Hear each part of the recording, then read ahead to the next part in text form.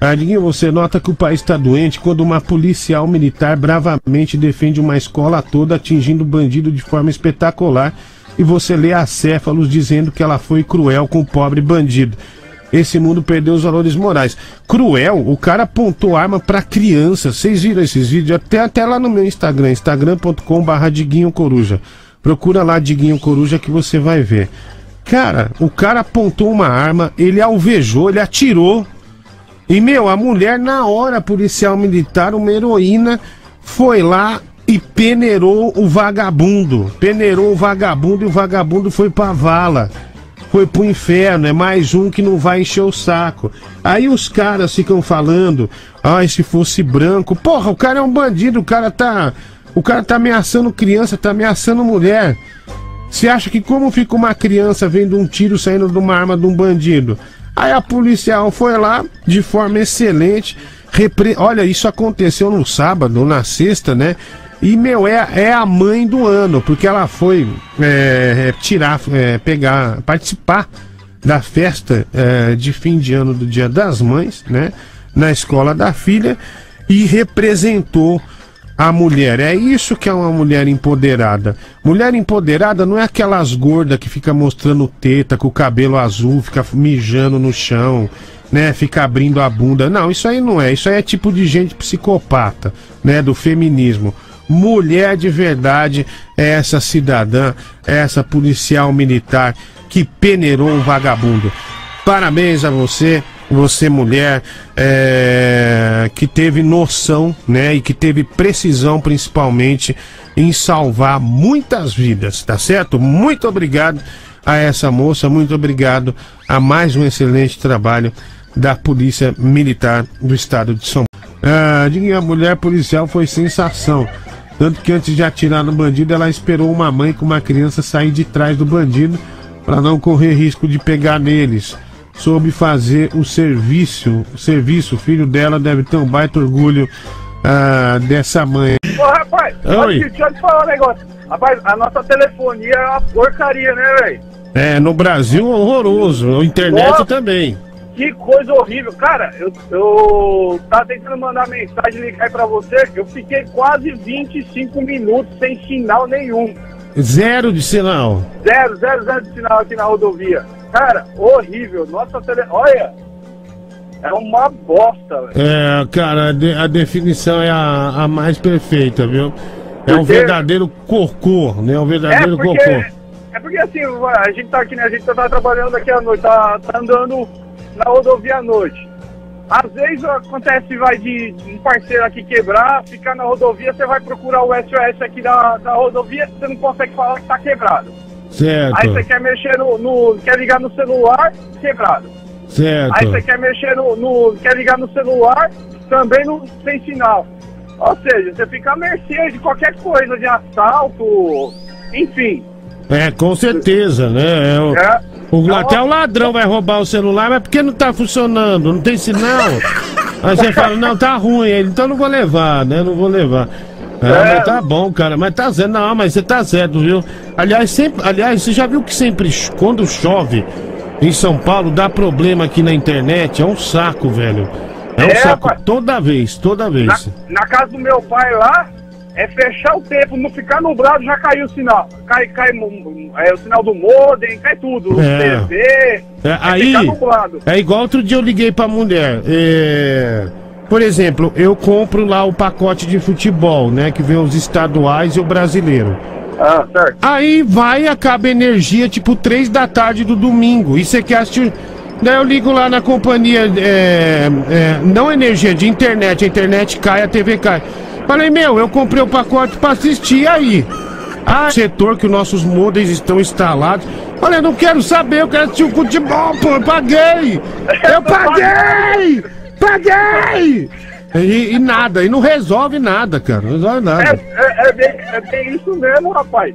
É, é. é, é e, e, detalhe, você paga caro, né? Você paga. O que eu fico. Cara, o português bem caro, puto da vida aqui no Brasil é isso. Você paga caro nas coisas. E não funciona. E não tem o serviço é, equivalente ao valor que você paga. E serviço no geral, porque você liga lá, um robô que te atende, a menina só fica assim, senhor. Aí você é. fala, sua desgraçada, você não sabe falar outra coisa? Não, senhor, sua conversa está sendo gravada. Vamos lembrar.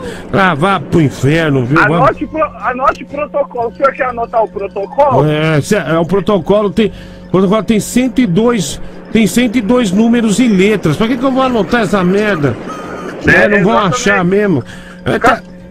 Mas pode falar, pode falar. Cara, é uma, é uma porcaria. Olha, eu vou te falar, o, o, Bra o Brasil, cara, né, nessa questão aí de, internet, não só em outros aspectos também, né, cara? Nosso país deixa, deixa muito a desejar, né? Tem, ele tem tudo, tem toda a tendência de ser um país, meu, totalmente desenvolvido, de ser país de primeiro mundo. Mas, cara, sinceramente, é, às vezes eu paro, tá até com. Olha lá, ó. ó, você tá sendo vítima agora do. Aí, ó, já não tô te ouvindo mais, ó. Ah. Ó, tá cortando. Aí, tá vendo, gente? Ao vivo a denúncia tá sendo feita. A telefonia não tá funcionando direito. Ao vivo, Tô né? tentando falar com ele, tá. Tá cortando, né? Tá cortando. Aí, ó. Tá vendo? Tá vendo? Ele tem toda a razão, né? Reclamou e a gente vê, ouve, né? Aqui no rádio, na Band FM, no Band Coruja.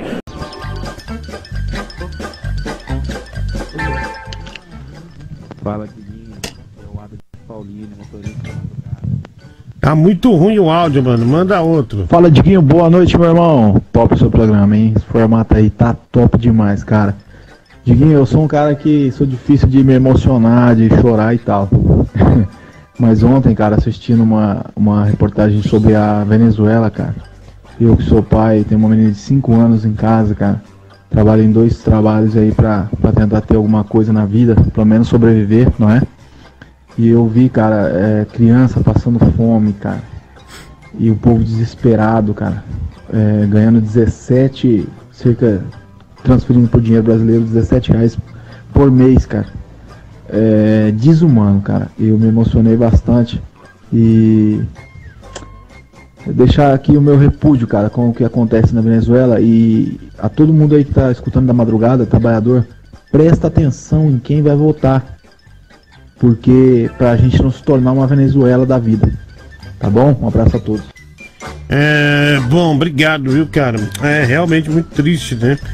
É, o socialismo venceu na Venezuela e toda a população abaixo da linha de pobreza procurando comida no lixo, inclusive. Aliás, tem uma história né, do Pelé com o Wilson Simonal que é sensacional, cara. O Wilson Simonal, né, acho que um dos maiores cantores da história do Brasil, né, que esse pessoal né, da ditadura do proletariado, esses cantores aí é, que eram a favor disso, é, enfim, esses esses que eu não vou falar não, mas esses que hoje todo mundo beija a mão, mas que para mim são os verdadeiros cocôs, né?